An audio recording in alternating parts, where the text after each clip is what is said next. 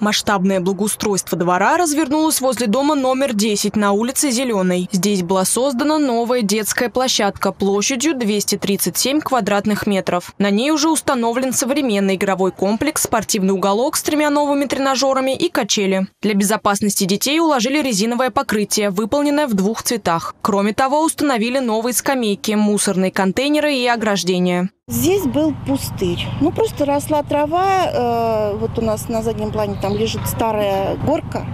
Мы ее убрали, да, и все. И одинокая песочница. Вот сейчас мы наслаждаемся вот этим. Очень нравится, что жители сразу включились после установки нашей спортивной площадки, сразу включились в деятельность. Они стали предлагать, нам еще надо столик для тенниса поставить.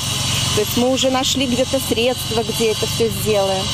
Цветы стали сажать, кустарники, траву будут сажать весной. Все работы подрядчик ведет в тесном взаимодействии с местными жителями. До того, как начинать строительство, мы приезжали сюда, э, показывали проект, схему, согласовывали вот, и чтобы было комфортно, то есть чтобы жители видели то, что мы им должны установить. Параллельно выполняются работы по ремонту внутридворового проезда. Ведется укладка асфальтобетонного покрытия, обновление тротуаров и создание парковочных карманов площадью 40 квадратных метров. Всего в Самаре в рамках нацпроекта благоустраивается 51 двор. Из них 5 комплексно преображаются в Красноглинском районе. Идут работы по другим программам. По программе содействия в этом году у нас будет реализовано три площадки.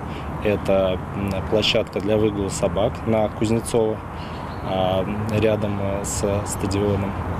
А также будет реализован проект э, спортивной площадки Калды ну, совместно с футбольным полем. Там будет э, искусственное газонное покрытие и ограждение Калды.